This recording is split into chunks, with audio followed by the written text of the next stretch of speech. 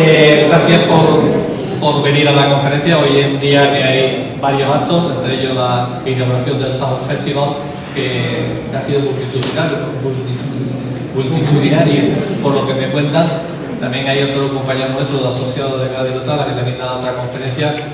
Creo que Lucía puede considerarse satisfecha porque hemos puesto 100 sillas y eh, mayoritariamente están ocupadas. Muchísimas gracias a Lucía porque la hemos traído expresamente de Sevilla, por lo cual eh, es más de agradecer todavía. Eh, yo a Lucía mm, no la conocía de nada, la verdad, pero nosotros estamos en contacto, cada ilustrada, con, con Belén González Dorado, que es la la propietaria, digamos, de, la Cámara Oscura de la Torre de. Y allí Lucía dio una conferencia que nos llevó de oídas a, nosotros. Y como el tema de las torres miradores nos interesa muchísimo en cada ilustrada, todo lo que sea arquitectura, pues hablé con ella y aquí la tenemos. Aunque muchas gracias, Lucía. Eh, Lucía, ahora hablaremos un poquito de ella y, ella nos explicará algunas cosas. Eh, antes de seguir con Lucía, quiero agradecer, como siempre, a la Delegación de Cultura del Ayuntamiento que nos doy una vez más esta sala 7 de, del ECO, que como, como nuestra casa, aunque nuestra casa está en la calle Ancha 16, en el antiguo rectorado, y allí hay un salón de actos.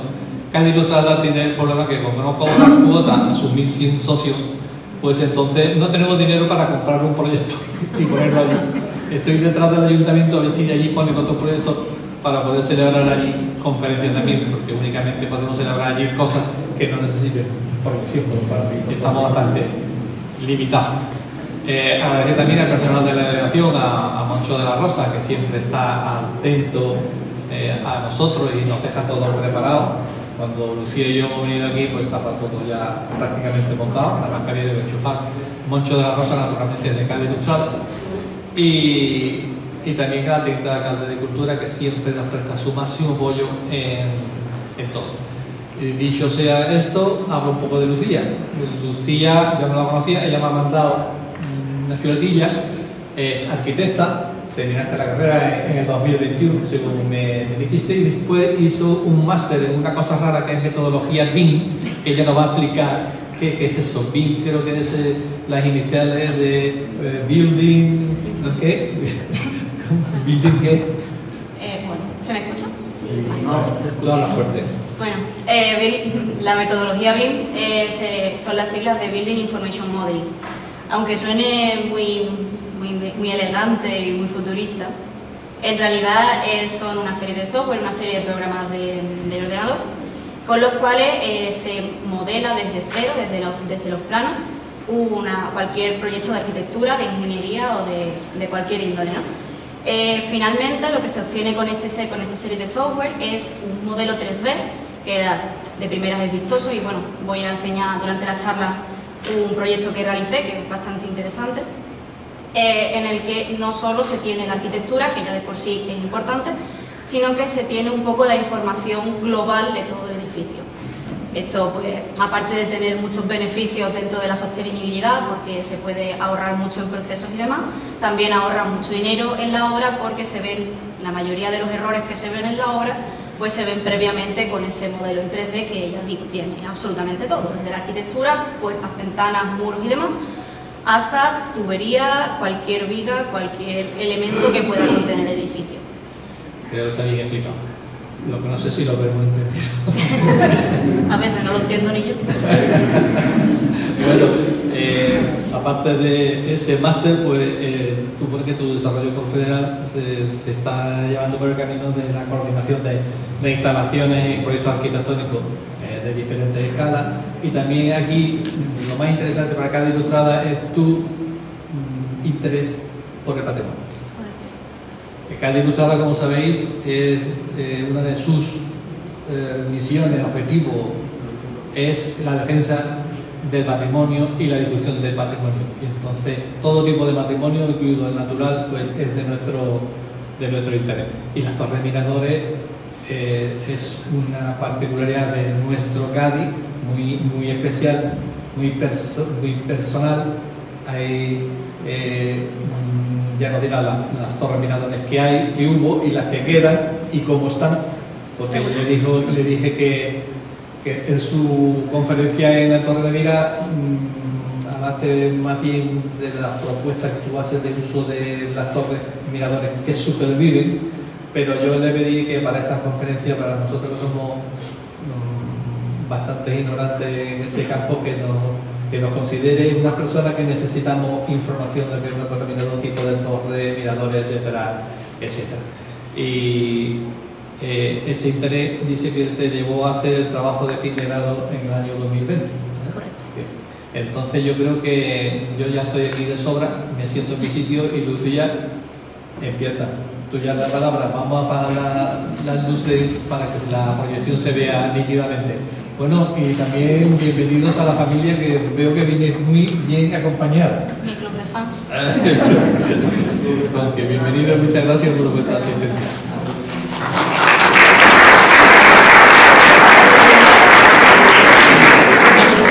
Bien.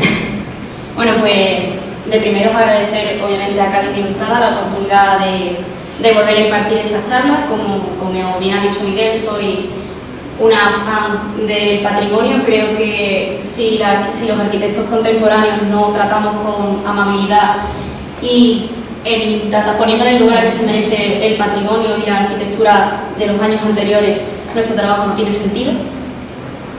Y obviamente, pues bienvenido, gracias a todos por vuestra asistencia y espero que de aquí pues salga pues, un diálogo o por lo menos unas nuevas ideas sobre este elementos patrimoniales, elementos patrimoniales que tenemos en nuestra ciudad y que son únicos en el mundo. Pues bien, eh, como bien ha dicho Miguel, eh, esta charla no es más que la hermana menor de un trabajo de investigación que realicé en 2020 para la finalización de mis estudios de grado. ¿Y por qué nació esta investigación? Bueno, eh, el primer punto de por qué nació fue una historia de amor. Con, yo no soy de Cádiz, por desgracia, eh, pero mi familia sabía inculcarme desde el día uno ese amor, ese respeto por la ciudad y creía que mm, la manera que yo tenía de devolverle a una ciudad que me ha dado tantísimo este, este respeto era pues dedicarle una investigación. Y siguiente fue la historia de una necesidad.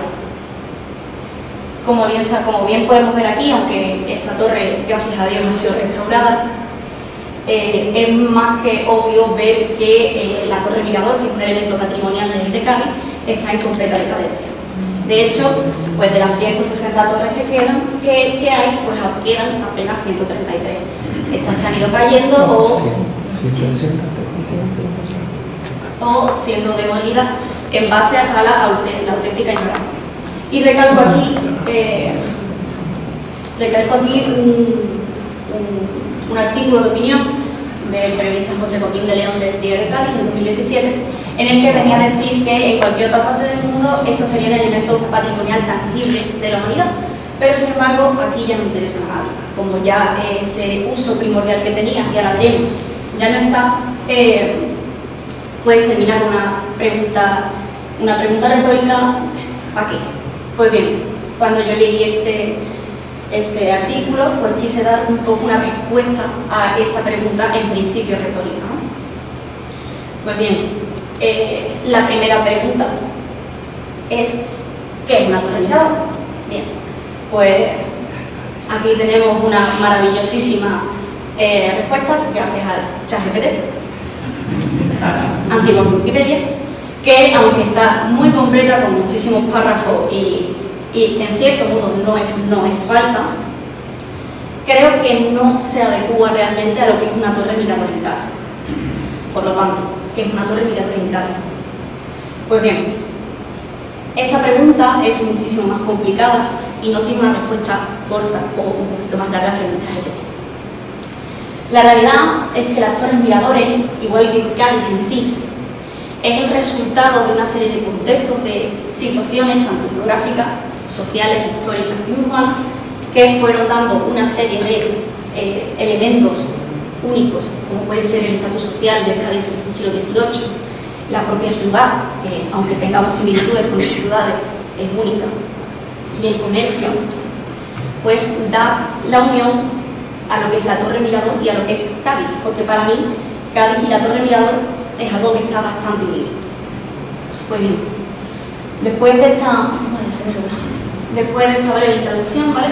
vamos a hacer un pequeño barrido por el contexto de lo que es Cádiz desde el punto de vista geográfico, tanto social como histórico como urbano, lo veremos a través de cómo va avanzando Cádiz desde el siglo XVI hasta el siglo XIX en, en su tramo. Seguiremos con lo que es la torre mirador per se, en la que veremos las, tipologías, la ornamentación, cómo eran decoradas, porque tenían una, una, decoración bastante peculiar, y cómo fueron siendo transformadas a lo largo de los siglos de su historia. Seguiremos con una fotografía a la actualidad de la torre, viendo las claves que hay para ese abandono que es bastante, bastante obvio y viendo las necesidades de volver a traer, no a lo mejor ese esplendor, que a lo mejor es un poco complicado debido a que el comercio con la India ya no se lleva tanto, pero sí la necesidad de volver a traer ese patrimonio que es tan importante en nuestra ciudad. Y para ello pues vamos a ver una serie de estrategias que ya finalmente las trataremos un poco de manera más lineal, que pues, fui en su momento, hace ya pues, casi 4 o 5 años, pues una serie de eh, planes para volver a traer esa importancia. Pues bien, eh, una de las claves geográficas más importantes de Cádiz es su posición. Como podemos ver eh, desde, desde, el principio de su historia, aunque bueno, si nos preguntamos muchísimo más atrás, Cádiz está dividiendo, pero bueno, eso si quieres saber la historia, vaya a la Torre Tavira que lo tiene explicado perfectamente. Cádiz tenía solamente una conexión por tierra, igual que la tiene ahora, lo que pasa es que ahora tenemos puente, por San Fernando. no me lo Esto eh, era negativo porque dificultaba mucho lo que era el tráfico de mercancías a través de tierra. Y aparte, el estar rodeada por completo de mar también era una desventaja eh, dentro de la facilidad a asaltar la ciudad, como veremos un poquito más adelante. Sin embargo, este, este enclave geográfico tiene un punto muy positivo y es que tiene una salida directa al Atlántico pero conservando una zona de aguas muy tranquilas, muy profundas, que es la bahía de que es la bahía de Cádiz. Esto, debido a su... Cuando, cuando la casa de contratación pasa a Cádiz en el principio del siglo XVIII, permite que, que barcos de gran calado que venían de las Américas pudieran entrar en puertos sin mucha dificultad, que a lo mejor tenían otros puertos de entrada directa desde el Atlántico. Aquí se me puede un poquito más de lo que hablo, que aunque es cierto que le hemos ganado territorio al mar, con toda la zona de astilleros y toda la zona de puertos, se ve perfectamente cómo se crean unas aguas muchísimo más tranquilas, que es mucho más fácil para, por ejemplo, las embarcaciones de recreo o para la llegada de grandes barcos. En su momento, barcos de mercancía, ahora crucero. Pero bueno. Ahora bien, dentro de las claves urbanas, y un poquito que también voy a meter lo que es la clave social y la clave histórica, vemos que desde el siglo XVI Cádiz está reducida a un núcleo de población muy pequeño, lo que conocemos ahora como el barrio del Pópulo. Pues bien, este núcleo de, población se quedó prácticamente así hasta finales del siglo XVI, que fue marcado por el asedio anglo-holandés de 1596. Sí. Es complicado las fechas en un sitio donde la gente se sabe la fecha. Bien.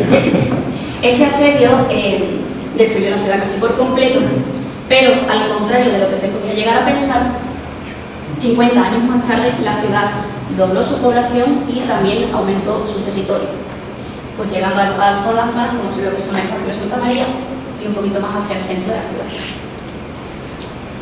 El siglo XVII Cádiz siguió expandiéndose, siguió teniendo cada vez más importancia dentro de los comercios y demás, y finalmente el siglo XVIII es el comienzo de la época dorada de Cádiz, llegando en 1717 la casa, la casa de contratación de las Indias desde Sevilla hasta Cádiz, punto para Cádiz.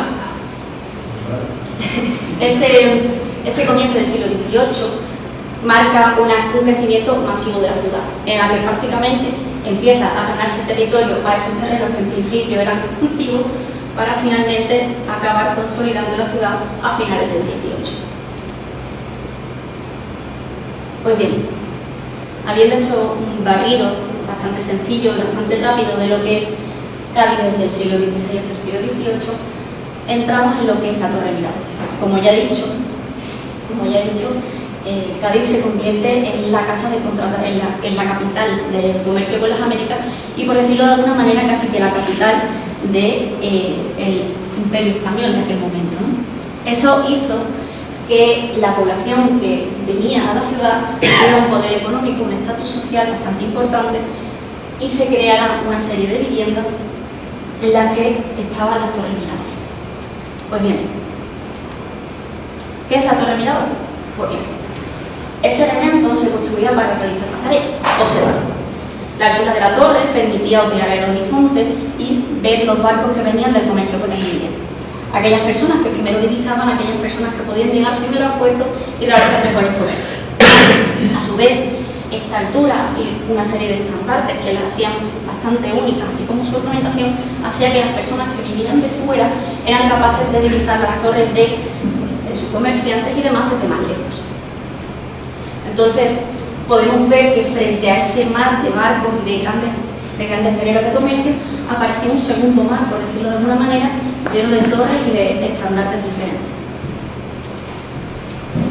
La torre no es más al final que una parte de lo que es la Casa Garitana. La Casa Garitana del siglo XVIII pues, se construía de diferentes partes. Una primera planta en la que estaba más dedicada al comercio, con esa, con esa característica casa puerta en la que a la derecha o a la izquierda solía estar el despacho del comerciante, y una primera zona donde se solían guardar las mercancías, una planta más dedicada al servicio, una planta dedicada a la, alta sociedad, segunda, y finalmente la terraza la azotea de con la torre. Era un espacio de recreo y además la torre se constituía como un momento de estatus. Aquel que tenía la torre más grande, aquel que tenía el mayor poder económico. Pues bien, dentro de lo que es el fenómeno de la torre, encontramos cuatro tipologías diferentes. En primer lugar, tendríamos la tipología de terraza. Es la, es la, la torre más común, que es de planta cuadrada, normalmente tiene una o dos plantas de altura. Se accede a la zona más superior mediante una escalera de marinero que se colocaba y se retiraba en el momento de utilizarla. Cabe destacar que la gran mayoría de las torres se colocaban en las esquinas de las viviendas. Esto se, debía, a una función únicamente estructural.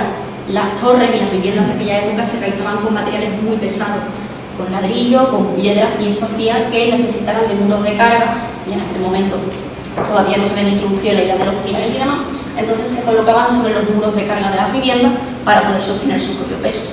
Esto, como ya veremos, después tiene una serie de cosas negativas, como que su peso hacía que fuera mucho más fácil de ser derribadas ante las tempestades o los elementos climáticos. La siguiente tipología sería la tipología de tipo garita. Aquí tenemos una de las más famosísimas que hay, que sería la torre de, una de las torres de la Casa de las Cuatro Torres, que eran, cuatro, eran unas viviendas que se destinaron para el alquiler de comerciantes que venían de paso. Este tipo de, este tipo de garita respondía, respondía a la necesidad de una entrada más sencilla a esa terraza superior, por lo cual se colocaba una, una garita, bueno, una garita que permitía, mediante una escalera de caracol, acceder mucho más, de forma mucho más sencilla. La siguiente sería la torre de silla, de la torre de silla a la torre sillería. Esta torre, a la torre de tipo terraza, se le añadía un segundo nivel o tercer nivel que ocupaba la mitad del espacio. Esto daba lugar a tener dos terrazas en vez de una, de menor tamaño, pero teniendo así la, posibilidad de acceder a incluso mayor altura, ya que esa, esa última terraza también era accesible mediante la escalera de margen. Y por último estaría la torre mixta, que esta, por desgracia, solo hay una en Cádiz porque el resto han ido desapareciendo con el paso del tiempo y que, pues como bien se dice, es una mezcla entre la torre de sillería y garita, que daba respuesta a esa misma necesidad que estaba en las torres de terraza, acceder al último nivel de forma más accesible. Esta torre, gracias a Dios, ha sufrido una renovación hace relativamente poco y ha vuelto a tener la imagen no exacta, pero bastante, cercana a lo, que, a lo que era. Pues bien, estas son las cuatro tipologías, pero existe una que es muy conocida por todos, llamada la Bella Escondida. ¿Y por qué es diferente? Pues es diferente por muchísimos motivos. De primeras, el acceso a esta torre es desde el suelo. La gran mayoría de torres se accedía desde la propia vivienda y era, muy difícil. La torre de Ávila, por ejemplo, sí la tiene, pero una, pero una renovación posterior. Esta torre podía, podía accederse desde el suelo. No se encuentra en el centro de la vivienda, tiene una planta autónoma y como se puede ver perfectamente, la decoración es bastante distinta a lo que estamos bastante acostumbrados a ver. Tenía azulejos y otro tipo de figuras geométricas que no, que no son tan típicas de la época. Y aparte, esto ya son un poco pues, eh, leyendas o que no se sabe cuánto de mito, cuánto de verdad hay, y es que se dice que incluso su función no era la de mirar al horizonte, sino ser por, completo observada. Se dice que el padre, que el, el, dueño de esta torre era padre de una hija que fue recluida en el convento de Freducci y mandó a construir esta torre para que su hija desde su habitación pudiera ver su casa y recordar que todavía queda familia en ella. Como se, como se dice, esto no se sabe si es verdad, a mí me encantaría creer que sí, pero no hay nada en, los archivos y demás que diga el, porqué de esta torre. Como bien he dicho, la ornamentación de las torres era bastante peculiar. Y aquí traigo para mostrarlo una renovación que se ha hecho también recientemente, que es de la, de la calle Sagasta. Eh, esta torre a día de hoy es un hotel que se inauguró hace, hace pocos años, creo que un par de años y en el que tuve pues, el, el placer de poder visitar en obra. Fui muy pesado y al final me dejaron subir. Y en el que pude contemplar desde muy cerca lo que viene siendo una torre mirador en su estado actual. Este era el estado actual, pero aún así se puede observar cómo la ornamentación geométrica eran con colores rojos muy característicos. Esta, ornamentación y esta pintura se llamaba lagra. ¿Y por qué es importante? Porque es una pintura muy resistente. De hecho, es una pintura que a día de hoy pues todavía nos llegan algunos restos y que hay gente que otras torres ha intentado pintar de color rojo, pero cayendo en, el error de no utilizar pintura adecuada y colores adecuados porque vaya horrorosos horrores se ven por ahí. Como por ejemplo la calle Valverde. De la calle Valverde hay una torre preciosa que ha tenido que muchísimas veces porque se empeñan en utilizar una pintura que es no es adecuada. Había una ciudad con muchísimo salitre, con muchísimo viento y con muchísima, y con muchísima lluvia en horizontal, como lo llamo, como lo llamo yo. Y eso hace que la pintura sea muy fácil de sacar y el almagro era una pintura que se adhería muy bien a la piedra, a la piedra que se utilizaba. Pues bien, también es, es interesante ver, que esto fue una cosa que me dijeron los restauradores, era que esos huecos que se ven en la, en la varita no, estaba, no estaban 100% seguros, pero podrían decirse que eran de catalejo, que eran, que eran agujeros que había hecho el comerciante en aquel momento en la propia torre para introducir el catalejo. Esto eran conjeturas de, de, los, de, los, de aquellas personas que no estaban restaurando, pero igualmente quiero pensar que sí, porque le da como un ambiente pilatesco muy gracioso. A día de hoy, este hotel está en uso y creo que es una buena reforma, ya que ha mantenido muy bien lo que es el carácter de la Torre Mirador, dejándola exenta, utilizando la pintura y las formas geométricas anteriores y pudiendo eh, admirarla como antes era. Pues bien, frente a este mapa que vemos de, de la, del avance de la trama urbana, se le superpone la posición de las torres mirador. Y hay una cosa que llama bastante la atención. Y se puede ver que las torres, que están la zona de crecimiento del siglo XVII, es la que más poblada está, y sin embargo, conforme vamos entrando en el siglo XVIII, estas torres van entrando cada vez en menos número. ¿Y a qué se debe esto? Pues se debe a una serie de situaciones. Aquí también se puede ver, bueno, más o menos, como el proyecto como esas torres, eh, si colocamos el puerto original aquí, también conforme nos vamos alejando del puerto, son cada vez menores en número hasta pues, la total desaparición. ¿A qué se debe esto?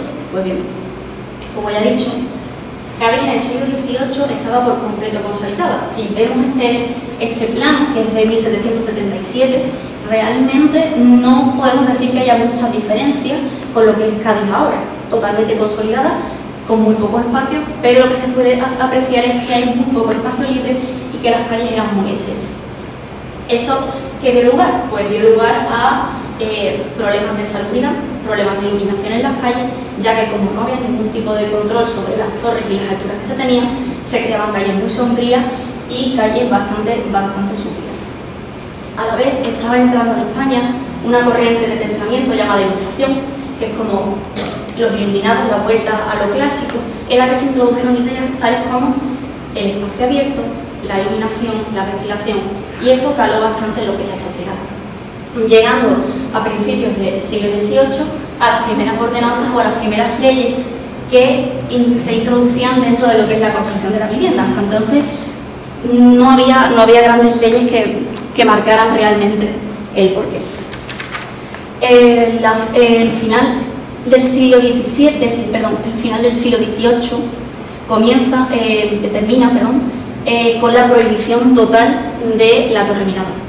Se dice que es una parte intersticial de la vivienda y que no aporta más que suciedad y oscuridad a la vivienda. Esto, esto sale en una de las ordenanzas municipales que aparecen dentro, de, dentro de, las ordenanzas del, del momento. Y no es hasta 50 años más tarde en la que durante esos años pues, se va viendo leyes que regulan la altura, como mucho, hasta que se necesita una, una, serie de aprobaciones por parte del ayuntamiento o la necesidad de un arquitecto que firmara el proyecto, porque antes, ya digo, eran un poco autoconstrucciones. Y es en 1840, 1847 donde se vuelve a permitir la construcción de estas torres, pero con una, con una serie de condiciones. Y es los cambios que vamos a ver a partir de ahora. Se permite, se permite la construcción de nuevas torres o, adecuación de las torres ya existentes siempre y cuando que los materiales fueran diferentes. En estos momentos solo se permite la construcción en base de madera y encontramos una serie de torres que son más livianas, que están hechas de madera y que utilizan nuevos elementos como puede ser la fundición de hierro o el vidrio. Por otro lado, también entra la posición. La posición de las torres empieza a ser diferente.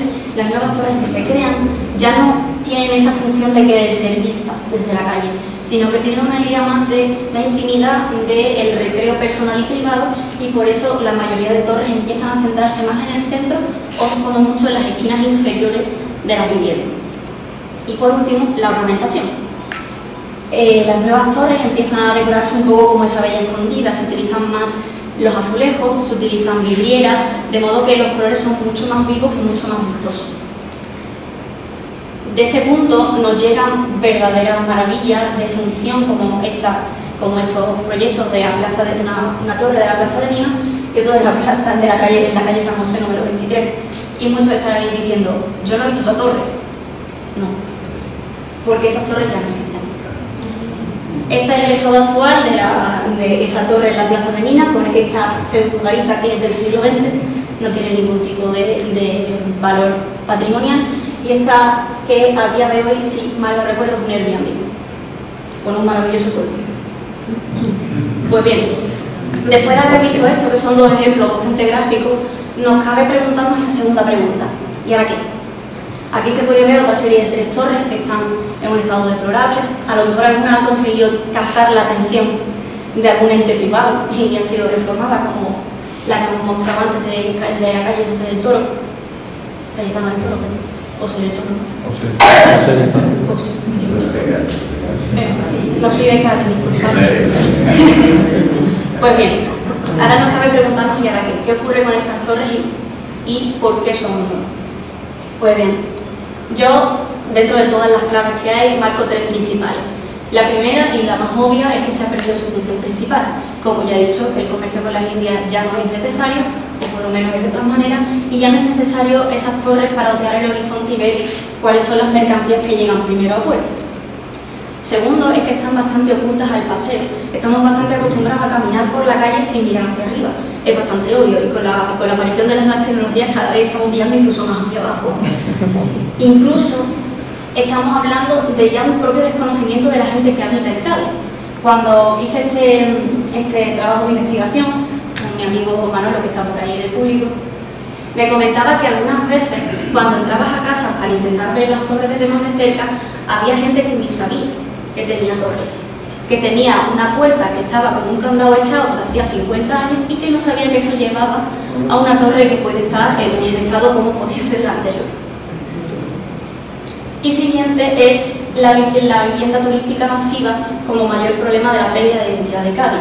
Y creo que esto es una cosa en la que estamos, por lo menos yo estoy muy de acuerdo con esta afirmación, y es que cada metro de Cádiz está susceptible a convertirse en un Airbnb o una vivienda turística.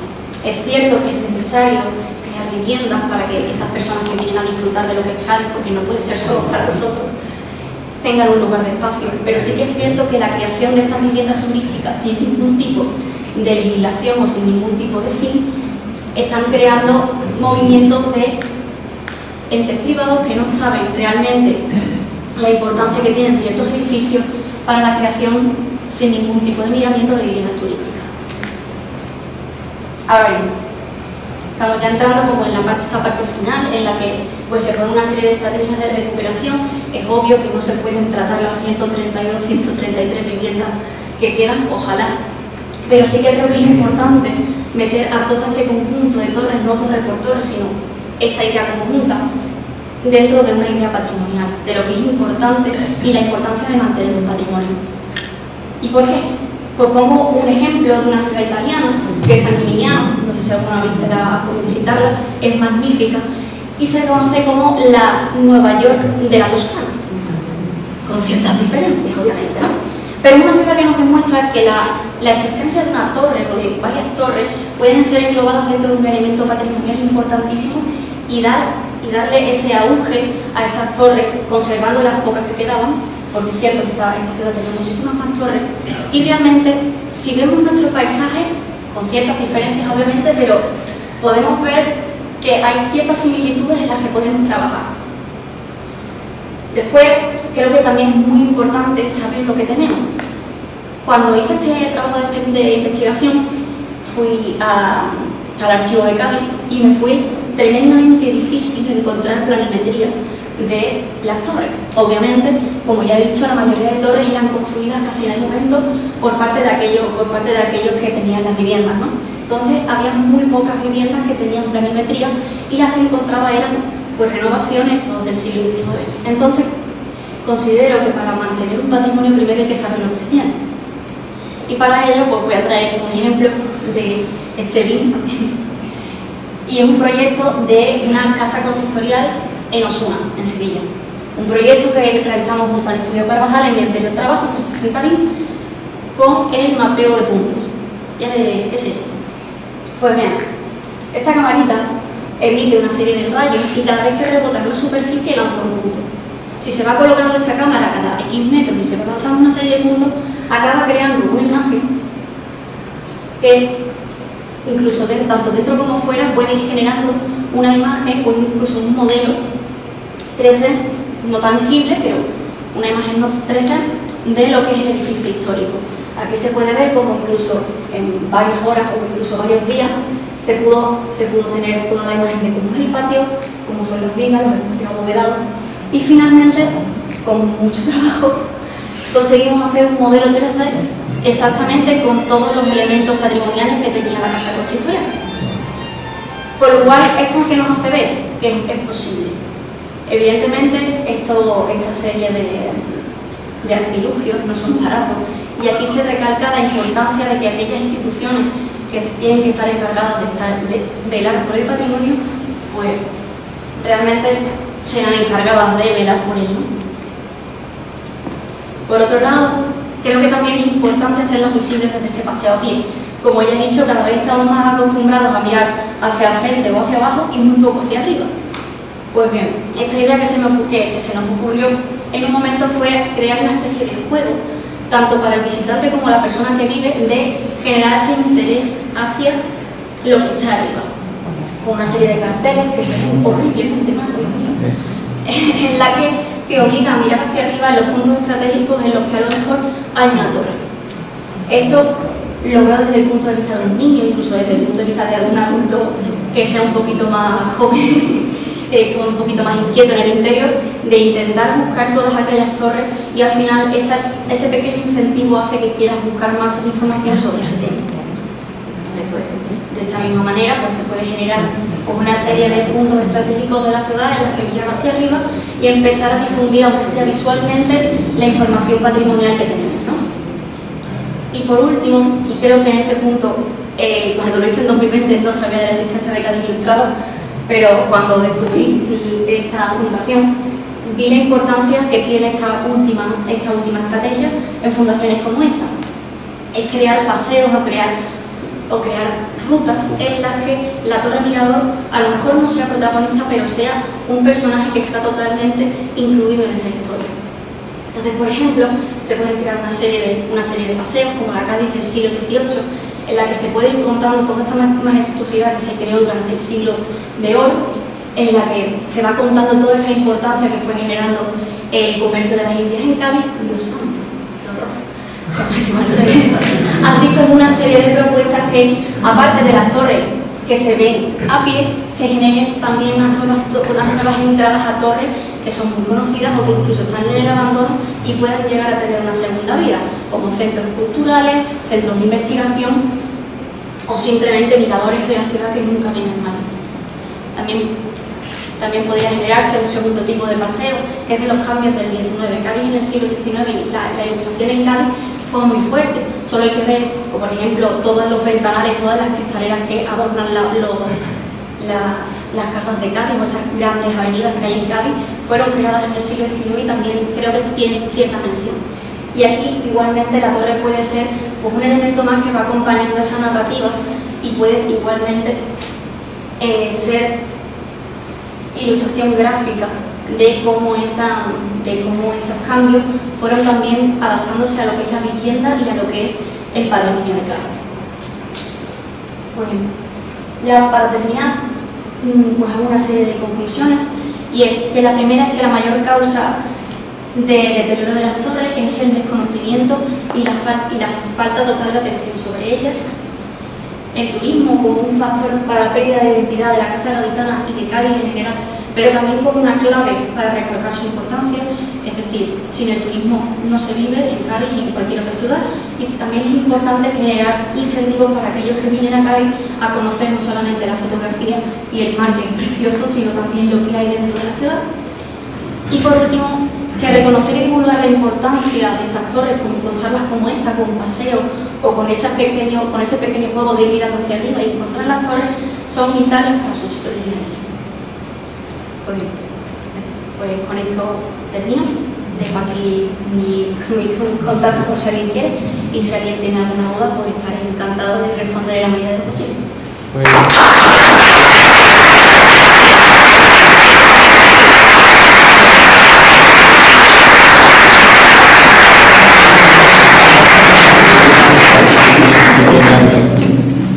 Muchísimas gracias, Lucía. Eh, José Ignacio, vamos a recoger ese reto que nos ha dejado de la ruta de las Torres Miradores, no la hemos hecho nunca, hemos hecho ruta de la piedra ostionera, varias de ellas, de, azulejos, etcétera, etcétera, pero de las Torres Miradores no. Gracias por la, por la idea. Eh, contaremos contigo para algo. Eh, lo que yo siento es que como no tenemos euros, no te podemos pagar los viajes de Sevilla acá. Pero vamos a montar ruta de la Torre Miradores, es muy, muy interesante. Eh, preguntas, seguro que tenía alguna pregunta de decirle a, Lucía. Yo le voy a decir para empezar una, la almagra, ¿de qué elemento de qué estaba compuesto? Luego ya que te, que te pregunte. La almagra se consistía básicamente en una piedra, la piedra del almagro, se molía, se mezclaba con agua y aceites para que se pegara más a la piedra y a raíz de eso pues ya se secaba y se quedaba prácticamente El polvo con aceite y con agua. Y se hacía la pintura. Hay muchas veces que lo básico, lo básico y la vuelta al origen es la clave para dar mantenimiento. De hecho se puede ver por muchísimas torres, ya te digo, la torre Valverde, por ejemplo, creo que va por su quinta o, sexta capa de pintura roja y no hay manera de que se No pervive. ¿Da cuenta cuál es nuestro logo? ¿Alguna pregunta? Yo quisiera saber... ¿Dónde se consigue ¿Ninguna? Creo que te tienes que ir a Marruecos. Ah, esa. Yo quisiera saber si la, la torre de la Villa Escondida es propiedad de los mismos propietarios que tienen una casa súper bonita, en cambio en el estado de abandono que está esa torre. Correcto. Eh, Además, he oído que hasta incluso se están llevando los azulejos antiquísimos que son Sí. y se los están llevando de otras azoteas que se No, no, saltan allá. la- de la Bella Escondida no se están llevando los azulejos. Se están llevando los azu- azulejos, además, lo hemos estado hablando previamente de la charla, de otros puntos. Pero la Bella Escondida es está catalogada, está, está, está, mm, protegida. Con lo cual no se puede llevar ningún elemento patrimonial. Ahora bien, sí que es cierto que los dueños de la Bella Escondida son los mismos que de esa vivienda, que ahora mismo no sé por qué dueño va, ¿de acuerdo? Ya va por otro, ¿no? Ya no es el cineasta. Vale. Es cierto que la torre, por ejemplo, la Bella Escondida a día de hoy no se puede visitar al uso como puede visitarse la Torre Tavira. Para conseguir esa protección eh, se le impuso el que se permitiera las visitas y las visitas se permiten de manera muy puntual y por bote. Pero sí, es cierto que está protegida, pero la protección de un elemento patrimonial no tiene implícito el aumento, la inyección económica para, para la restauración. Entonces, de hecho, ahora mismo la Bella Escondida está más, más escondida que nunca porque hasta hace un par de semanas estaba tapada con una, una lona. Sigue tapada con una lona. Pues la Bella Escondida en su máxima esencia.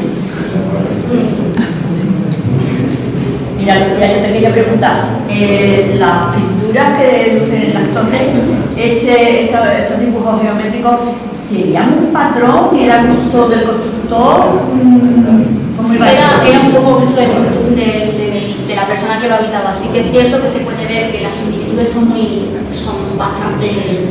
Entonces se puede entender dos, dos vertientes.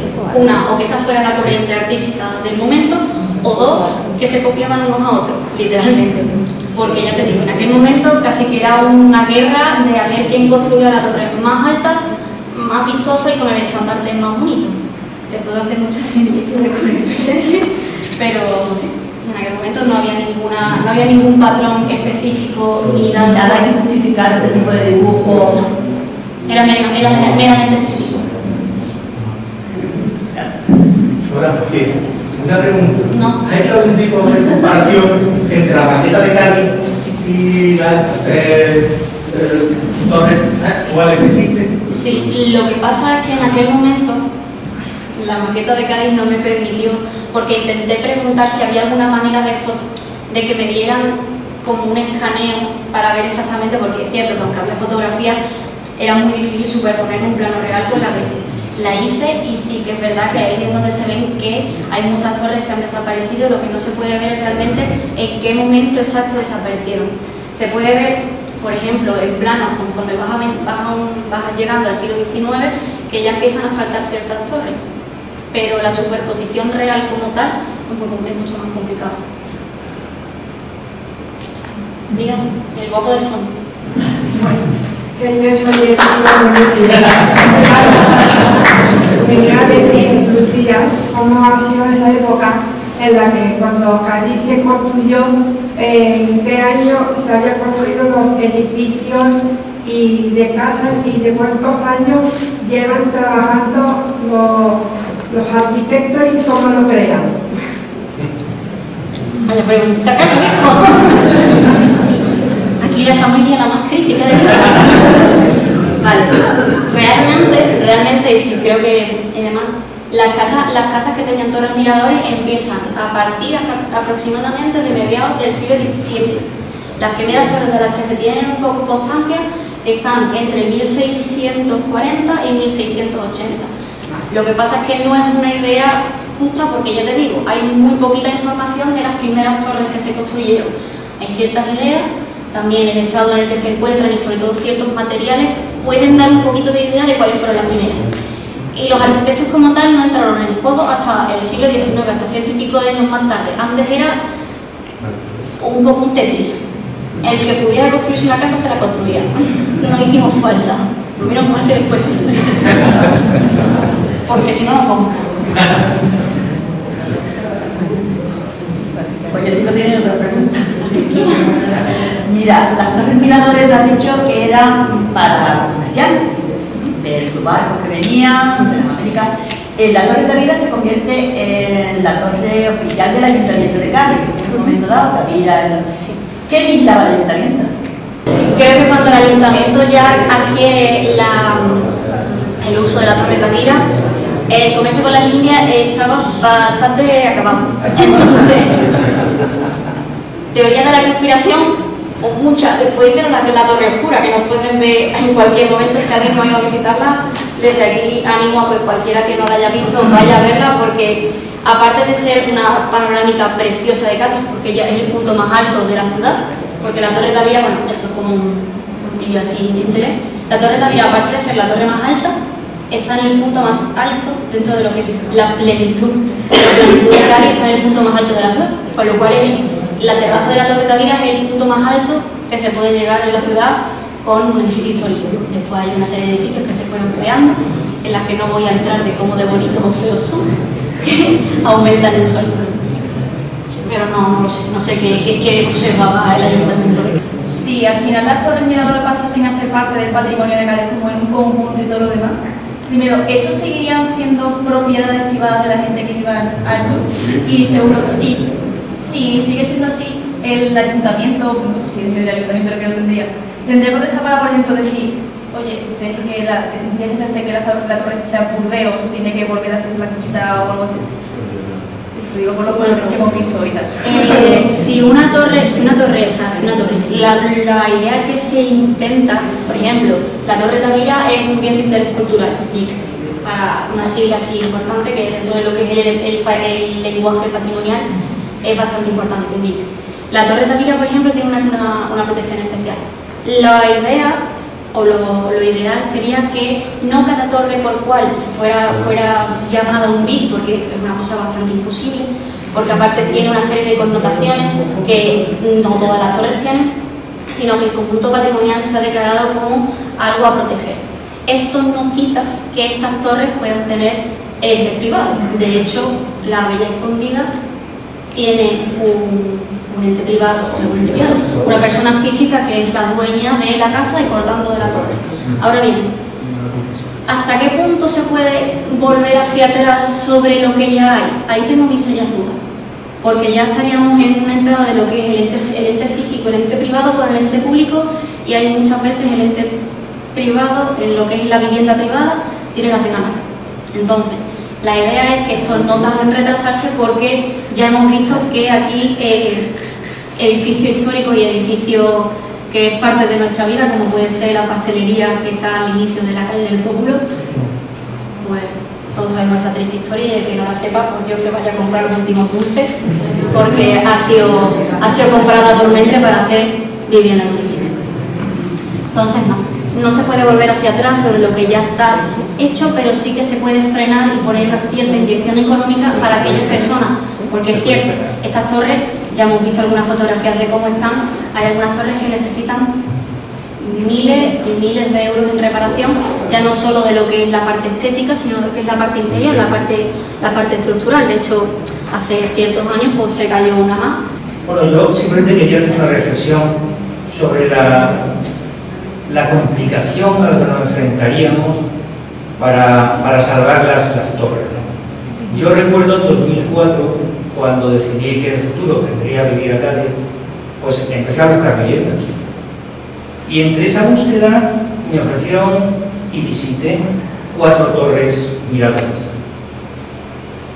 Haceros una idea de lo que es entrar en, un edificio, una torre preciosa, además que estaban bien conservadas Tenías que subir hasta un tercero andando. Y una vez que llegabas a un tercero y entrabas en la vivienda, te encontrabas con el arranque de la torre. La torre tenía otra. Esta, es, esta historia es de las cuatro torres que visité. Tenías otros tres pisos por arriba para llegar a lo que era una galleta. Entre esos tres pisos se distribuían pues, dos dormitorios, la cocina y el dormitorio principal arriba plantearnos de verdad lo que supone eso. Eso supone entrar en una turba de estas con unos 20 o 25 años y salir no más tarde de los 50 si te mantienes. Luego, otra grandísima dificultad una vez que estás en la torre y te quieren manejar de una planta a otra, te encontrarás con unas escaleras estrechísimas y con una altura, una altura de peldaño imposible. O sea, eso era de verdadero barco, de hecho, se llaman así. Se llaman escaleras de barco. Entonces, tú te imaginas que haces una restauración, te gastas un dinero, remozas los suelos, las paredes, eh, los baños, haces todo muy bonito, muy bien, lo pintas, te has gastado un dineral y ahora quién necesita eso. Esto, esto no, no es algo de, de ser pesimista, sino que había que buscar una utilidad real a esos espacios que son difícilmente habitables. Es la. Era lo que quería. Y realmente, realmente estoy bastante de acuerdo contigo en el que concebir la torre mirador como una posible vivienda más es posible. De hecho, por desgracia estamos viendo de que casi que es la solución más rápida, pero no es la mejor. O sea, de hecho, la torre Tavira he animado a verla, pero también hay que tener pulmones. Mm, porque es muy complicado y además, por ejemplo, la Torre Tavira lleva años luchando con introducir un ascensor en el interior y ya no solo por la complicación estructural que puede tener, que se puede hacer, porque virguerías más grandes se han hecho dentro de la arquitectura como para meter un ascensor ahí, pero es muy, muy dificultoso meter un ascensor, un elemento patrimonial tan sumamente, tan sumamente cuidado como en la Torre Tavira. A lo mejor un elemento patrimonial un poquito menos esto, pues podría llegar a meterse un ascensor. Sin embargo, una de las ideas que yo tenía, a ver, obviamente que de las 133 torres que quedan, 133 centros culturales, a lo mejor es saturar un poquito Cádiz de cultura, que es importante, pero hay que relajarse. Sí que es cierto que, bueno, que dentro, dentro de lo que yo, de lo que mi idea era que el cuidado patrimonial no entra a darle un uso, sino que por lo menos ese, esa, esa cáscara per, perdure. Ha sido importante, por ejemplo, creo que se hizo una charla hace poco de las portadas usuales de Cádiz, obviamente. La, la dio José Ignacio. No, pues no tuve el placer de ir, pero me pareció interesantísimo. Y cuando se cuida la imagen patrimonial, que es a donde yo quiero llegar, el uso puede, puede darse, puede llegar y lo que es importante es la inyección económica y el impulso económico porque por suerte o por desgracia no se puede. Eh, una de, las, una de las ideas que tuve, o sea que idea utópica de estudiante de arquitectura de último año, era que en esos paseos pues una, cada torre tuviera como una opción especial o que tuviera de alguna manera una opción de subir. Lo que pasa es que utopía. A mí me pusieron un 9, pero eso no era real. Entonces, sí, suscribo, suscribo la dificultad de darle una, función real a las torres, pero no ser capaz de darle una función real no significa dejarlas al abandono total que ahora mismo tienen, sino que se puede intentar con el trabajo muy arduo, tanto de historiadores como de arquitectos y del propio ayuntamiento, a darle una salida, una solución a una, una parte de lo que es Cádiz en sí. Cádiz sin torre creo que no existiría y la, la, torre sin Cádiz tampoco. Creo que es una cosa que se retroalimenta y dejarla morir es dejar morir un poco lo que es el patrimonio de Cádiz. Sí, pero claro, pasa una cosa, que normalmente eh, las torres son propiedad del dueño del edificio. Eh, hoy en día cuesta muchísimo, lo sabes, mantener un edificio.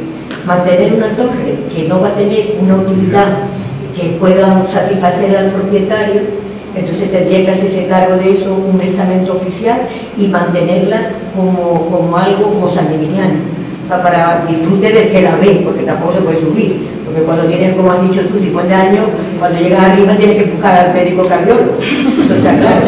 Que no viene muy complejo, pero de luego necesario.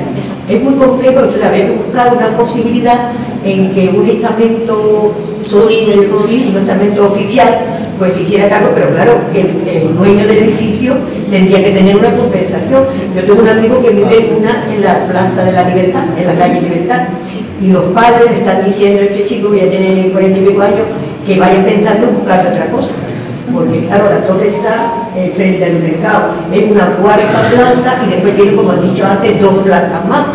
Hay días que este chico se queda allí y no sale porque trabaja como heredero y los padres le dicen, búscate algo porque es que en cualquier momento no va a poder salir de aquí. Que es una pena que se pierda, indudablemente, que es un patrimonio importantísimo, pero había que buscar una solución entre la administración correspondiente y el dueño de la casa para solamente cuidar la torre, aunque el toda la casa tuviera para caerse. La torre hay que cuidarla, la difícil Eso, habría que buscar una solución intermedia, a ver si entre los arquitectos, aquí José Ignacio y todos los que tienen poder, que van a tener poder en Cádiz, se o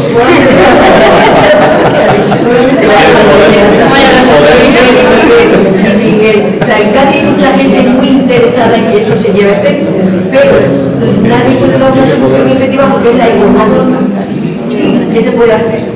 Es que, ya te digo, yo no, no puedo dar una solución real y válida porque es que desde el más pesar de mi, de mi corazón es que no la hay. Realmente estas esta charlas y la- la- estas charlas y casi todas las charlas que se dan en base a un patrimonio tan precioso y tan complicado porque creo que hay pocos elementos patrimoniales en cualquier ciudad del mundo que sean tan complicados de llevar a cabo como el que hay en Cádiz y es precisamente por la entrada de lo que es que la torre es parte de una vivienda de, que es de alguien. San Gimignano, que es una ciudad preciosa y en cierto modo estéticamente se puede parecer, la suerte que tuvo es que esas torres han caído en entidades públicas que han velado porque eso se mantenga público y porque hay siete y es fácil subir a siete. Subir a 132 es más complicado. Y es cierto que a lo mejor cogemos este, este problema de muy tarde. Pero coger un problema de tarde, como has dicho, no es, no es sinónimo de, pues como lo he cogido tarde, lo abandonamos. Pero sí, es cierto Nunca que es tarde, nunca es tarde. es tarde, pero es cierto que creo que el comienzo de una solución tiene que empezar por un diálogo que todavía no se ha tenido en base a esas entidades públicas, esas entidades jurídicas y esas entidades, esas entidades privadas, esas personas que realmente tienen esas viviendas para poder empezar a tener una solución. Creo que si no se inicia ese diálogo, se pueden poner muchísimas charlas, se pueden poner muchísimos carteles de mira para arriba, pero la solución no va a llegar. Entonces creo que con estas charlas, más que proponer una solución preciosa, bonita, que se me ocurrió a mí allá por el 2020, encerrar mi habitación porque en aquel momento no podía salir, la solución real es sentarse y empezar a hablar de soluciones reales, más allá de soluciones utópicas que están muy bonitas, que nos dan para soñar y que al final son ese primer empuje para tener esa iniciativa. Pero sí, es, es un problema muy complicado. Yo, la pregunta, yo creo que la pregunta básica está, ¿el, el está interesado en mantener las, las- las torres cuando hay probablemente más del 40% de la población de Cádiz, de gaditanos, que no conocen esa situación? Si la conocieran y estuvieran de acuerdo en mantenerla, tendría que salir de las arcas del, del municipio los arreglos. Pero eso es así. ¿Está interesado el gaditano?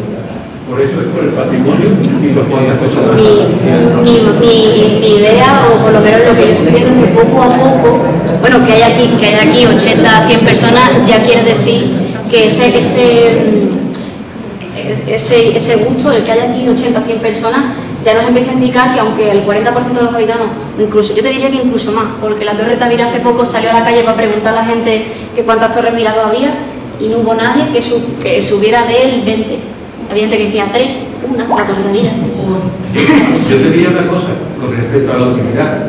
Yo recuerdo de niño, yo tenía en mi familia un tío mío que era marino mercante y hacía la, la, ruta de Cádiz no me acuerdo cómo se llamaba. Y entonces tú llamabas por teléfono a la Torre Tavira y decías, ¿cómo viene el barco de Canarias? Y decía, eran dos horas de que antes, yo pues de niño desde 7 o 8 años. ¿Cómo viene el.? No me acuerdo cómo se llamaba.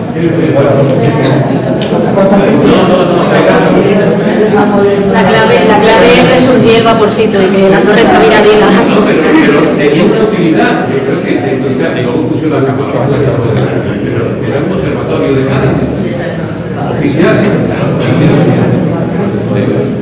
Hay, hay posibilidad de instalar ascensores eh, y aprovechar las torres como vivienda, ya que la economía, los, inversores, hay mucho dinero de por medio y bueno, eso, instalar ascensores y aprovechar las torres como vivienda. Mira, mira, mira, a, relación con lo que está diciendo el señor, tenemos una compañera que vive justo enfrente de la Torre Tavira, en la calle de del Gran Tesoro. Y entonces nos ha comentado muchas veces que en su casa, en su casa, que es enfrente, no se puede poner ascensor, porque al estar la Torre Tavira declarada BIC, es la torre y su entorno. Entonces, todo el entorno no pueden hacer movimientos de Claro, la respuesta a eso era sí con asterisco. Y me explico. Realmente, realmente a cualquier edificio se le podría instalar un ascensor. Ahora bien, eso tiene varios problemas, varios hándicaps y varios, varias cuestiones. La primera, para instalar una- un ascensor en un, en un en, un- en una, pues me saldrá, en una parcela, como puede ser una parcela en la que esté la torre mirador incluida, tiene que tener el consenso de todas las personas que viven en ella. Igual que cuando en un edificio de 1940 y algo se quiere instalar un ascensor, tiene que tener el consentimiento de, dicho, de dichas personas. Segundo, una vez que se ha aprobado, eso sale del propio bolsillo de aquellos que le tienen. Y tercero, evidentemente la necesidad de colocar un ascensor puede ser eso, necesidad, pero puede llegar a romper mucho con la estética o con lo que viene siendo la torre. Igual, entramos en una dicotomía, en un problema que es la pescadilla que se muerde la cola de hasta qué punto vamos a permitir ciertas intervenciones.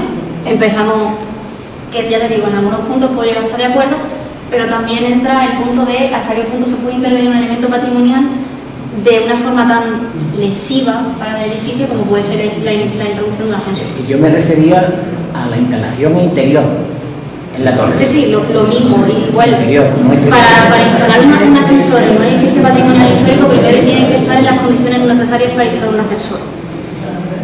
Es un poco complicado, eh, viendo el estado, que hay algunas, hay algunas que sí, por ejemplo, la Torre Tavira, en la Torre Tavira puedo llegar a entender la importancia de un ascensor porque es un elemento patrimonial que sirve de, de ideal, de idea al, al turismo. También es cierto que cuánto mide un ascensor. Un ascensor, estamos hablando que aunque tú dentro, aunque una persona dentro pueda, pueda percibir el ascensor como de un metro a un metro, el ascensor por fuera puede llegar a medir hasta metro y medio, dos metros. Teniendo en cuenta que la planta de una torre, de una torre estándar no supera los 8 metros, ya estamos diciendo que Como se, re- se arregló el edificio entero, se puso un ascensor hasta la tercera planta, pero lo único que tiene en una esquina. Y entonces ya lo único que hay que hacer es subir una planta para llegar de la torre. Eso sí, o sea, posibilidades hay. Estamos entrando en la dificultad de introducir un, eh, ascensor dentro de una torre, que creo que ya es complicado por lo que he dicho, que, uno, que un ascensor mide 2 metros por 2 metros y una torre mirador a lo sumo, en lo que he dicho, 8 metros por 8 metros. Lucía, de hecho, hermanita, una cosa. Sabemos presentes que estamos aquí. ¿Cuántas torres son viviendas? ¿Son qué? ¿Cuántas torres son viviendas? Digo, de las 133 que hay, ¿cuántas son viviendas? Porque es un 25% aproximadamente. Saca desde atrás. Entonces, nos estamos planteando Saca desde de atrás. cuestiones en la que, por ejemplo, la torre que está en la calle Columela, que antiguamente era Máximo Dutti, ese edificio, ¿no? puede decir, perdón, está reformado. La torre está reformada. Yo sí se lo digo. Pues es una pena, ¿eh? Ya, pero nos estamos metiendo en un terreno que quizás no estaba pobre mía ahí navegando, en la que, ¿cómo nos vamos a meter en una finca que no, que no es del año que es privada? Que nosotros queremos ese patrimonio. El problema de Cádiz, ¿sabemos cuál es? Que tenemos demasiado patrimonio. Usted escapa ahí, o escapa en la bahía, tenemos patrimonio problema. Y le estoy echando una manita de Es decir, que no pensemos que todas las torres son viviendas. Para nada.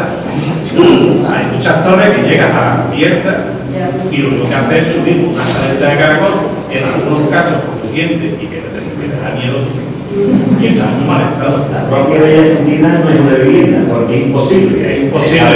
Que, bueno, que se ha contado antes, antes se hablaba de la Bella Escondida. La Bella Escondida ya no pertenece a Manuel Sí, bueno, pero que no es una vivienda, es. Pero digo que es un problema. Ahora mismo es un matrimonio.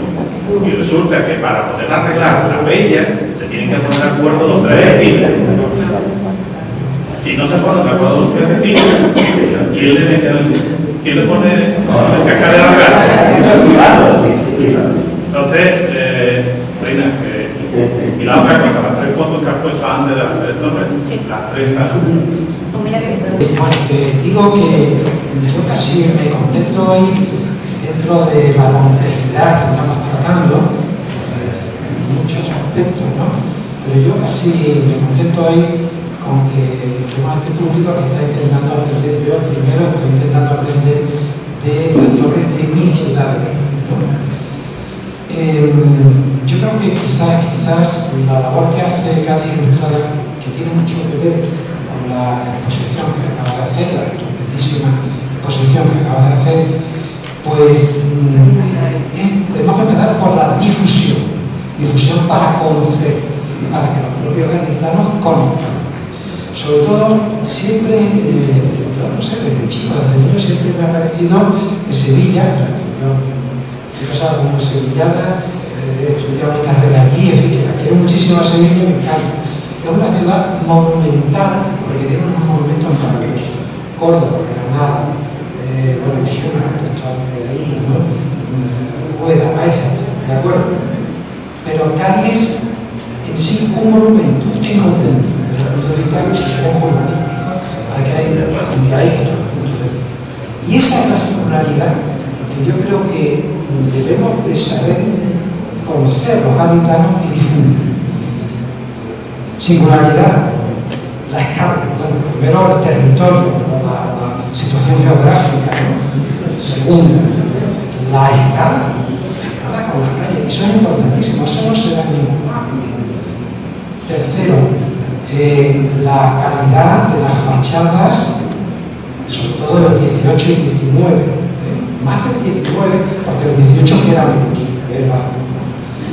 Eh, los patios, bueno, las portadas, poner los patios, que antes eran accesibles y ahora todos cerramos los patios porque tenemos miedo de las escaleras, las torres, ¿no? O sea, todo ese conjunto de elementos arquitectónicos eh, que además se mantienen una, un porcentaje importante, hacen de esta ciudad su seña de identificación única. Y eso yo creo que es importante que los gaditanos nos demos cuenta de que estamos, intentamos nuestro patrimonio, defendamos nuestro patrimonio y defendamos nuestro patrimonio. La operación utópica, lo has dicho, utópica, que he propuesto, completamente de acuerdo que es utópica, pero yo creo que es bueno que nos empecemos a plantear utopías, por lo menos para iniciar, para iniciar algo como esa idea de, del conjunto, de la protección, como conjunto histórico de las torres. Eso es verdad. A mí a veces se ha planteado aquí el, hacer Cádiz como el patrimonio de la humanidad, esto que está tan de moda y tal.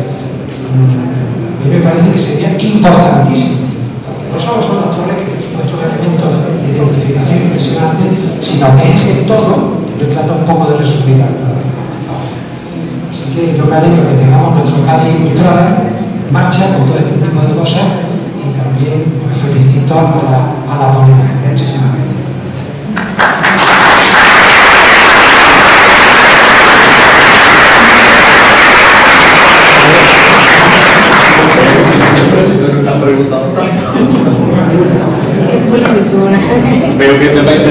Nunca se ha preguntado tanto en ninguna conferencia de bueno, me interesa muchísimo tu campo. Eh, voy a hacer una puntualización porque este señor, con su nombre, Felipe, ha dicho que el ayuntamiento... No soy su abuela. Lo sé, La mejor junto con la otra que está aquí también. lo sé que tiene alguien al lado. Y el abuelo que está al lado. que preguntaba qué utilidad, para qué quiere el ayuntamiento, que hacía el ayuntamiento con las torres, ¿no? Para que lo empleaba, ¿quién fue? ¿No era Felipe? No, ¿Tú No, no eso era ella que, que la Torre Tavira la, con la que dio el ayuntamiento de Cádiz. No, no, es que hablaba de... Yo hablaba, yo, yo hablaba de que si, al- si, al, si al gaditano realmente le interesa mantener su que creo que debería de interesarle, debía de ser que el ayuntamiento debía ser Cádiz quien se encargara de sufragar esa separación o esa retrofit. No solamente restaurarla, sino mantenerla, que es el problema que tiene este Eh, hay que tener en cuenta una cosa. Hay muchas cosas en Cádiz que, que en este tema no solamente está implicado el ayuntamiento, sino la Junta de Andalucía. Sí, pero, pero, pero que eso está solucionado. Por ejemplo, en la plaza parcial, las cinco torres forman un no pagan construcción, pero están a mantener las casas. Los cielos tienen que ser de madera, no pueden ser de otro material. Bajar la fachada cierto tiempo. No tocar ninguna parte de una fachada. Todo eso va a la casa. Tiene la ventaja que no paga contribución.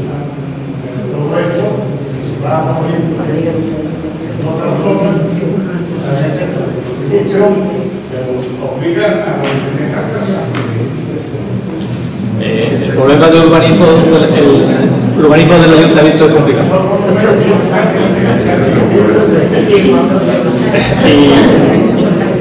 Y, y no solamente está aplicado el urbanismo del ayuntamiento, sino que la Junta de Andalucía tiene mucho que decir en todo esto. La Junta de Andalucía tiene un patrimonio, la- el patrimonio es de, depende de ella, o que todas las están implicadas y el ayuntamiento no puede hacer por sí solo en ninguna actuación. un poco por parte, respondiendo al caballero que ha comentado eso, es cierto que en algunos puntos de la ciudad esto tiene solución, pero estamos hablando de nuevo a lo que estaba diciendo antes. Esto es una solución utópica, si estamos hablando del conjunto entero. Es cierto que la Casa de las Cinco Torres, igual que por ejemplo la Casa de las Cuatro Torres, son torres bastante singulares por su importancia, ya no solo al día de hoy, sino en la importancia del siglo, que de- del siglo intentar aplicar estas reglas, que por cierto, la casa de una, no sé si una o varias de las casas de las cinco torres son apartamentos turísticos. Entramos una vez más a todo ese problema. Una creo, sí, ¿no? Sí, ok.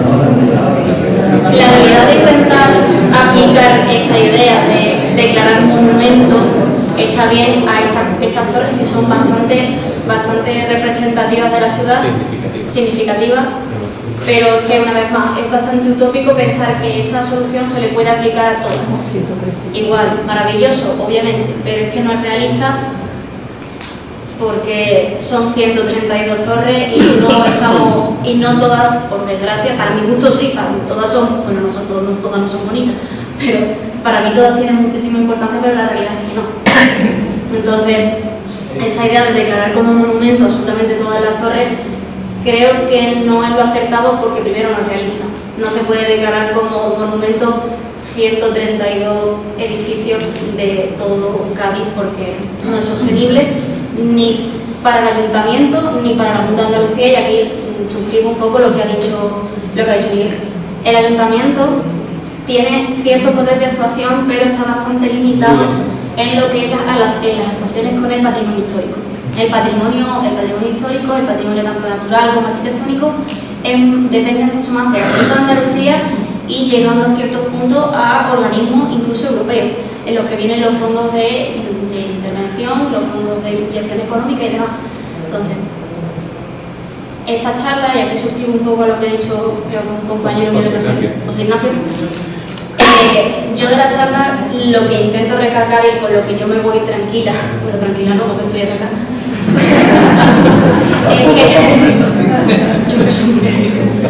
es que estas ideas y todo este debate que se está generando, que realmente es que se podría extender y con, y con puntos específicos y esta, y esta vivienda y esta, y esta torre, este debate que podemos estar teniendo para mí es suficiente porque significa que está empezando a entrar esa semilla, esa curiosidad por conocer el patrimonio. Yo con que cuando salgamos de aquí y alguno vaya por la calle mirando para arriba a ver si encuentra alguna, me doy por más que satisfecha. Y de verdad que he hecho este ejercicio con compañeros míos, incluso con, con niños pequeños con los que he tenido la posibilidad de, de- de enseñar este conocimiento a un nivel mucho más básico, se convierte en una- un punto muy divertido. Entonces, para mí es eso, la finalidad de esta charla y con la que yo me voy tranquila a casa, es que este debate que se está empezando a generar sirva de, de empuje a que se empiecen a tener conversaciones más serias, tanto con el ayuntamiento como con la Junta de Andalucía y con entes privados que de verdad den una solución real, no utópica, que tardarán bastantes años en llegar porque las, porque las soluciones son bastante complicadas y tienen muchísimos matices, pero estoy segura de que llegarán. Pero para que llegue, lo primero y lo más importante es tener este tipo de charlas, este tipo de divulgaciones y este tipo de, de preguntas internas que todos nos estamos haciendo ahora, porque todos tenemos en mente una torre, una vivienda específica, que ya no solo tenemos que estar hablando de la torre. Como ha dicho mi compañero, es también esa portada, esa vivienda que todos conocemos que tiene un patio espectacular, una, escalera que todos recordamos a lo mejor de pequeños de haber subido o bajado. Para mí eso es lo importante, que tengamos esa curiosidad y esa, esa llamita en el interior de la importancia de cuidar el patrimonio.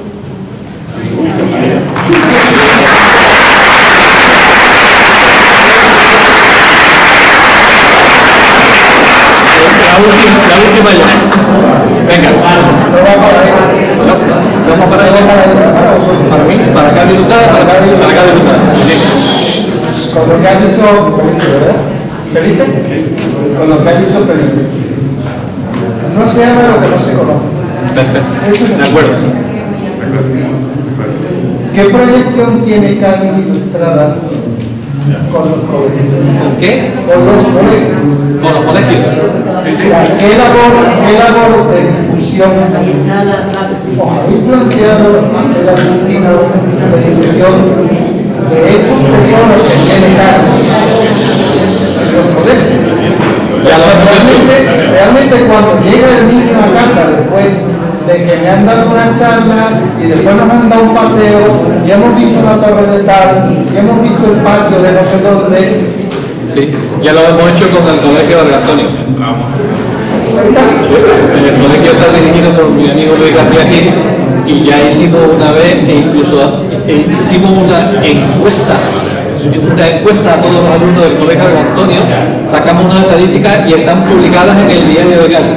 Nosotros tenemos un acuerdo con el diario de Cádiz cuando nosotros queremos pues, la evacuación o, lo consideramos necesario, tenemos con el diario un acuerdo y hacemos una cosa que se llama Cádiz Ilustrada Opina. Y ahí, ahí publicamos, en ese Cádiz Ilustrada Opina en el diario, está publicada una encuesta que fue nuestro vicepresidente Antonio Ramos, que no será presidente, el que se encargó de ella con el Colegio de Antonio. Yo quisiera, no solamente eh, eh, tratar con el Colegio de Antonio, que me una gran amistad con Luis, eh, el gerente, sino que a mí me gustaría hacer mm, tratar diversos temas, por ejemplo, de la torre de con el colegio, pero Cádiz Ilustrada está sobrepasada. Eh, mm, el, el asociado normal no se entera, pero ahora mismo eh, Cádiz Ilustrada está haciendo su 12 actuación en lo que llevamos de año en defensa del patrimonio. Hemos salvado los azulejos del Quijote de la calle José del Toro 14 y ahora estamos, hace tres días, luchando denodadamente por salvar los azulejos holandeses que se encuentran en el zaguán de entrada, en la casa puerta, como decimos nosotros, de Candelaria número 2. Estamos en contacto con la, la de, eh, una unidad de patrimonio de la Policía Nacional, con la cual estamos en contacto. Esta mañana estamos hablando dos veces con ellos. Estamos en contacto con urbanismo del ayuntamiento. Estamos movilizando a nuestros arquitectos, que tenemos muy buenos arquitectos en Cádiz Dotada, nuestros técnicos en azulejería, como Fernando García Portillo, y estamos luchando por salvar esos azulejos. Y, y esta es la 12 actuación. Nosotros salvar Torres Miradores lo tenemos muy complicado porque son 133. Pero nosotros estamos colaborando, sepáis, con Belén González Dorado, hija de una profesora mía de inglés del Instituto Burmela, estamos colaborando en, difundir, en, propagar esta idea de amor por la Torre Miradores y difundirla, eh, que, que lo conozcan, los gallegos lo conozcan, que la valoren, que es el primer paso muy importante. Y hemos colaborado con ella, nuestros expertos en diversas materias, en un libro que acaba de terminar Belén, que, que- que- que ella ha hecho como una de las partes de esa mm, promoción que tiene ella de la Torre Miradores y ese trabajo que está haciendo. Entonces, Cádiz Ilustrada está en todos los sitios, pero no podemos más. Ya quisiera yo estar en contacto con todos los colegios y hacerles cuenta sobre la Torre Miradores, darle conferencias, etcétera, etcétera. En la universidad, que sepáis que uno de nuestros eh, Ilustrando a Cádiz hemos hecho 12 documentales, 12 de producción propia, eh, difundiendo diversos aspectos del, patrimonio de Cádiz, que sepáis que la universidad, el, el Ilustrando a Cádiz dedicado al Granil Fenicio, lo tiene para proyectarlos a los alumnos. ¿eh? Y ahora en la muestra 17 de cine documental iberoamericano, que también Cádiz está, colaborando con ellos, también se van a proyectar esos 12 y el primero, Granil Fenicio, el, el más visitado porque es que todos los alumnos de la universidad lo ven. O sea que es- estamos en todas las partes. Y más, de verdad, no podemos hacer sin un euro sin un euro porque no cobramos cuota ninguno de los 1.100 asociados que tenemos. Por parte de cada Entrada, prometo que vamos a hacer, vamos a hacer rutas de la Torre Mirador en esa labor de difusión y para eso tenemos buena